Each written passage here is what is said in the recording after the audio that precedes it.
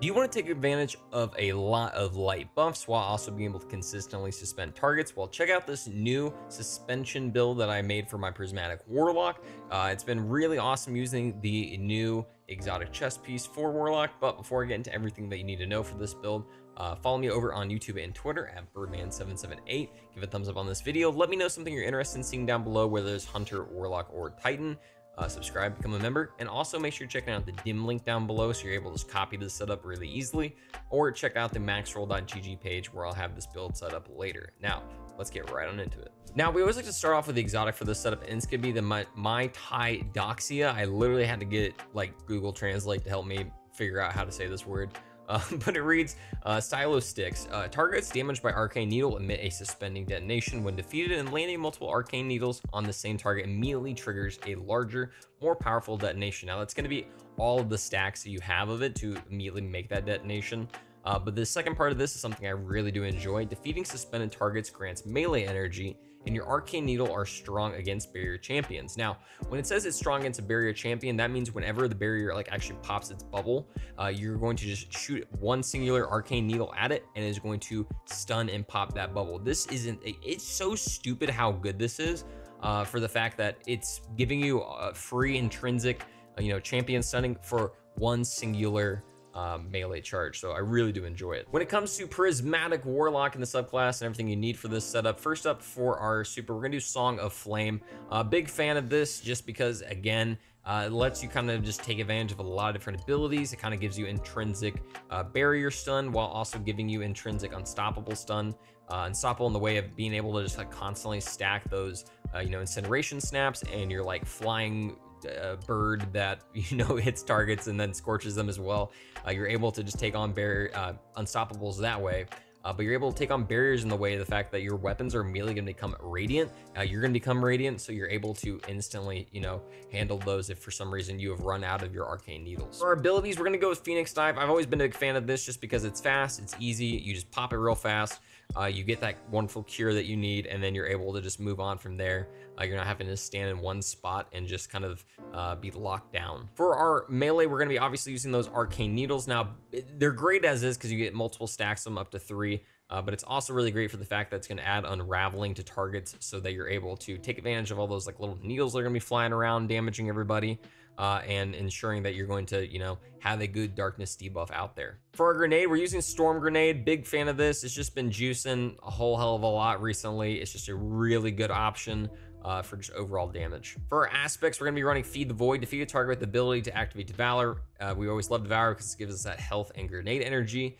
Uh, and your Devour effects are improved, restoring additional health and grenade energy. So again, you're constantly been able to keep up that great melee with uh, Minotoxia. If I said that right again, I have no idea. Uh, and then also being able to keep up good grenade and health with Devour. Our second aspect is going to be Hellion. I really do enjoy this for the fact that I'm able to just like, you know, do that Phoenix dive to the ground real fast and then get that little, you know, mortar that's just going to be constantly shooting, uh, doing additional light damage, doing just additional damage as is, obviously scorching targets, and then eventually igniting them. When it comes to the fragments you need for the setup, first up, Facet of Courage, big fan of this. You are going to be, you know, doing a lot of darkness debuff, unraveling suspension, uh, stuff like that. So it is going to help juice up those effects of things like your uh, Song of Flame or your Storm Grenade. Facet Devotion, defeating targets afflicted with stasis or strand debuffs uh, grants bonus light transcendence energy. Uh, we're mainly going to be using a darkness weapon for this setup, so our darkness bar is going to be able to be, you know, juiced up pretty easily. So this is a great way to just kind of, you know, feed into that a little bit more and ensure that we're able to keep up that transcendence all the time. I will say this one's a bit more of a flex pick, uh, but at the same time, I think it's really valuable. Faceted Protection is a lock-in no matter what all the time. Uh, while surrounded by combatants, you are more resistant to incoming damage, and while Transcendent, that's obviously a juice up effect. Uh, this is great because it's going to do multiple different things. One, uh, it's just going to help us out as is with our damage reduction, but uh, we are going to have galvanic armor on on our artifacts, so uh, kind of being able to double dip into that uh, damage reduction is really nice. Facet of the Dominance, your Void Grenade weakens targets and your Arc Grenade jolts targets, obviously getting that easy jolt off uh, is really nice. Also for the fact it's able to obviously stun overloads, but it is going to start up that effect of amplification for us so that we're able to take advantage of that as a uh, light uh, buff as well. And then finally, faceted balance. I really like this one just for the fact that I'm able to kind of keep up my uh, melee and my grenade when I'm not in that good transcendence energy. Rapidly defeating targets with light damage gets me that melee energy, and defeating targets with darkness damage grants grenade energy. Obviously, using the call as our primary for most of the time, we're going to be just mainly getting uh, that grenade, which is great for this entire setup. But again, taking advantage of things like a energy um, you know, secondary weapon, something like that, that's a light subclass. Uh, I'm using the Forbearance for myself. Uh, does really well for that. When it comes to the weapons you're going to be using for this setup, I always recommend the call right now. I'm a big double special brain guy right now. I just think this is a great option. Uh, also, putting on demo on it is really great for the fact that it's going to help keep up that good grenade energy for us. And then hatchling as well. Uh, I just like hatchling for the fact that, again, it's just adding another like darkness element to the setup and able to take advantage of the debuffs it provides. Again, before I mentioned I was using like forbearance uh, for this setup. Uh, you can use that.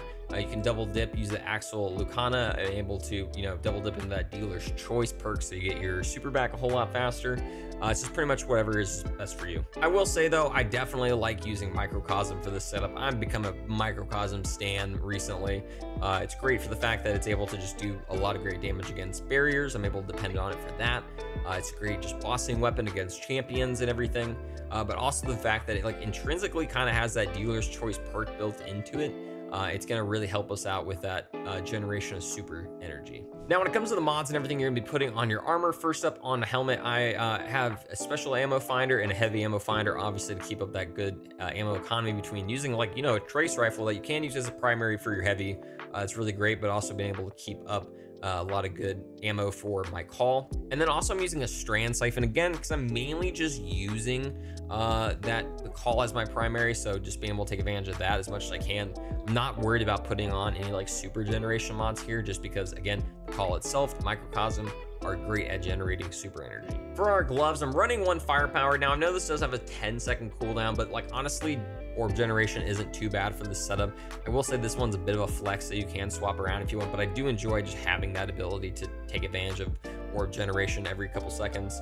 Uh, momentum transfer, doing damage against uh, targets with my grenades, gonna obviously give me melee energy so that I'm able to, you know, use the arcane needle more and Bolstering Detonation, same thing, but just for my class ability. Chest piece is just all resistance mods, depending on what I'm needing at that time. On our legs, I am running a double strand siphon here. On our legs, first up, recuperation, great for just constantly generating a little bit extra health, especially when you don't have Devour available to you in that moment. And then a double strand weapon surge, just so that I'm able to get a little bit more damage from my call. Uh, since it will be my primary, I am able to, you know, just kind of like sit down there and mow with like against bosses with it. Uh, it's a great option, and we will have a whole lot of orbs generated for us to kind of feed into this. And then our class item, a Reaper, because whenever I do that, you know, Phoenix Dive, which is pretty often, I'm able to take advantage of an extra overpower afterwards.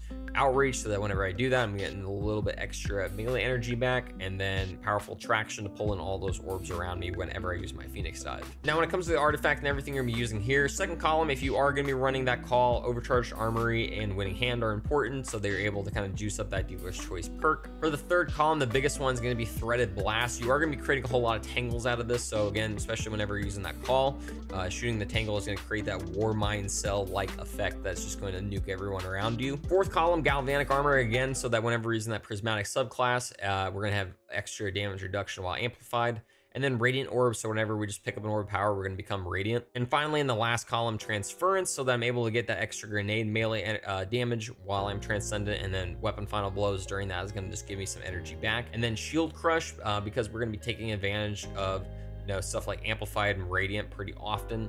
Uh, so we're able to get that grenade energy back. Now, how this is able to handle champions and everything of the sort. First up for our barriers, obviously, uh, the Mitodoxia is going to be able to handle that whenever you uh, just use an Arcane Needle against a bubble. Uh, but obviously, you still have uh, ability to become Radiant through your Artifact mod, so that's going to help you out there. Unstoppable, again, just suspending with our, you know, new exotic item. Um, using all three of those needles against the target is going to do that. Uh, but we also have the advantage of doing like ignitions through our super uh, as well as, you know, just being able to use our sidearm, the call, uh, as our unstoppable sun. And for overload, obviously that grenade's gonna be that jolting effect, uh, and you can also take advantage of your uh, transcendence grenade, uh, being able to slow and suppress targets as well. Thanks so much for watching the video. Hope you guys really enjoy it. Again, let me know something you're interested in seeing down below, and like the video helps us out a whole hell of a lot subscribe and become a member, and then follow me over on YouTube and Twitter at Byrdman778. Thanks so much. Hope you guys have a great night, day, or whatever it may be.